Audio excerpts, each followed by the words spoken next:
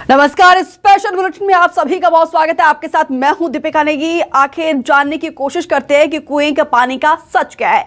कोंडा गाँव में सात साल पुराने कुएँ से निकलने लगा उबलता हुआ पानी और पिछले छह महीने से इस कुएँ में ठंडा पानी नहीं, बल्कि उबलता हुआ पानी निकल रहा है। तो वहीं इस नजारे को देखने के लिए आसपास के लोग भी एकत्रित हो गए हैं। दरअसल, एक यादव परिवार के कुएँ का पानी अचानक से ही छह महीने से ठंडे की जगह गर्म होने लगा, जिसके चलते पानी इतना ज़्यादा गर्म रहता था कि कोई इसको इस्तेमाल नहीं कर सकता था।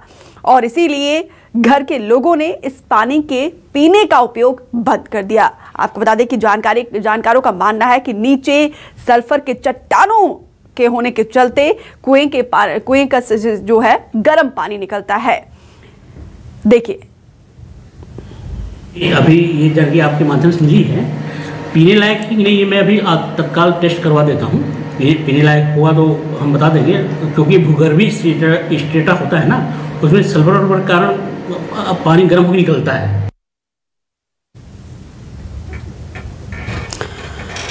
तो देखिए तो देखिए, जब से ये गर्म पानी निकल रहा है, उसके बाद से वहाँ पर लोगों का तांता लगा हुआ है। बड़ी संख्या में लोग पहुँच रहे हैं और सात साल पुराना कुआँ अचानक से ही, छह महीने पहले से इस कुएँ से गर्म पानी निकल रहा है।